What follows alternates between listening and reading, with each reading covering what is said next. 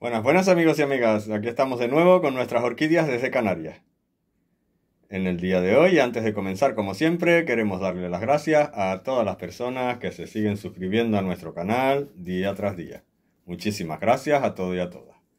Bueno, como ya les dije, hemos estado bastante ocupados creando cestos, creando plantas en corchos de alcornoque.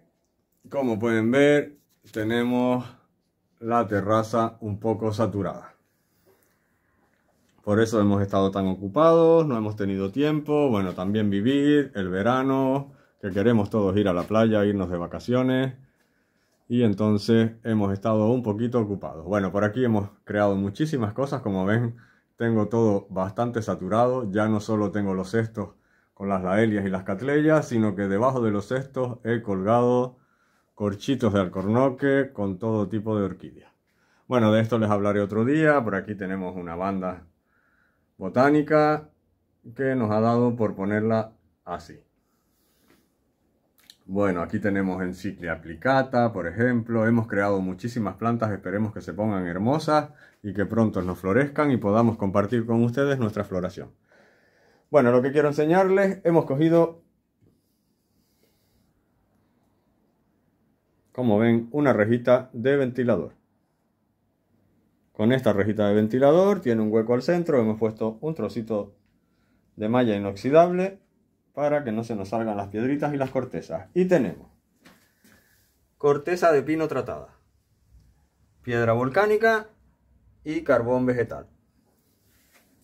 Y por aquí tenemos una catleya amestistoglosa. Bueno, pues vamos a hacer una creación de las nuestras con materiales reciclados. Ya saben que nos encanta reciclar. Como siempre les digo, por ejemplo, como ven ahí, estos postes que ven en nuestra terraza son postes de la luz. Siempre intentamos reciclar todo lo que podemos e intentamos innovar. Por ejemplo, por aquí se nos rompe un plato y lo incrustamos en nuestra pared. Bueno, pues como les digo, tenemos por aquí todos los materiales preparados. Bueno, le enseñé piedra, corteza y carbón. Me faltó el musgo fagnum empapado con enraizante. Bueno, pues vamos a hacer una creación con nuestros materiales. Tenemos musgo fagnum. El vídeo va a ser rapidito. Hoy no nos vamos a volver muy locos. Tenemos el musgo fagnum, la corteza tratada como les digo. La tratamos nosotros mismos. Tenemos un vídeo por ahí donde explicamos cómo tratamos nuestra corteza. La piedra, por sin embargo, la compramos así, pero también la lavamos y la desinfectamos por si acaso. Y carbón vegetal lo partimos en trocitos. Catleya amestistoglosa. Por aquí tenemos otra, como ven, de ventilador en blanco. Pero en este caso ahora vamos a utilizar esta. Bueno, no les voy a enseñar todo el proceso, simplemente cogemos la planta, la posicionamos, la agarramos con unas bridas por debajo, ya saben, orquídea suelta, orquídea muerta, orquídea que se mueve, orquídea que se muere. La vamos a posicionar con unas bridas tal que así. La vamos a amarrar por debajo en forma de cruz, unas hacia aquí y otras hacia allí. Simplemente con dos bridas es más que suficiente. Dejaremos nuestra planta sujeta y luego rellenaremos con nuestro sustrato. Bueno, pues vamos a proceder a hacerlo y en un segundo les enseñamos el resultado.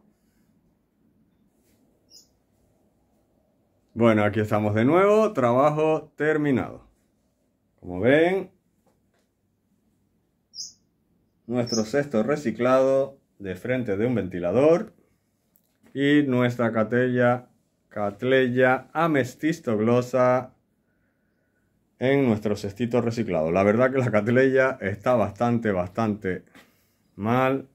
Bueno, son unas plantas que no son fáciles de conseguir, por lo menos aquí en nuestras islas, y ha viajado mucho. Esta en este caso ha venido desde Ecuador. Ha tenido mucho trayecto de viaje y ha sufrido bastante. Aquí lo pueden ver en sus hojas. Es una planta de un porte bastante grande. Las cañas pueden medir entre 60 y 80 centímetros y la planta ha sufrido bastante en lo que es el viaje. Bueno, como les digo, aquí tenemos nuestra catleya amestistoglosa plantada en una rejita de ventilador reciclada. Esperemos que se ponga hermosa y que podamos disfrutar de ella más adelante con unas cañas nuevas, sanas y hojas en perfecto estado.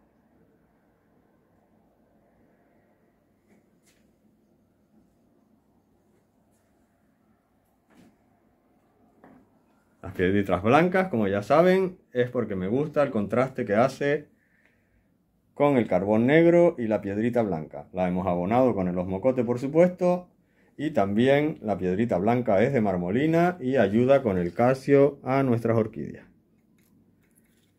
Las ponemos por decoración y porque también nos ayuda con el calcio. Pues aquí les dejo nuestra catleya amestistoglosa en un cestito de ventilador reciclado. Como ya saben, podemos aprovechar todas las cosas que otros no quieren.